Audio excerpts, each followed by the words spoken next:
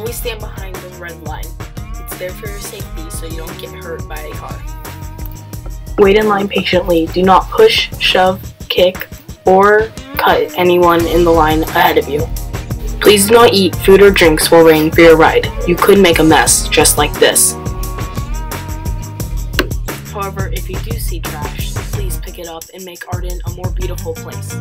And if you do find trash, please throw it away just like this in its respectable recycling can.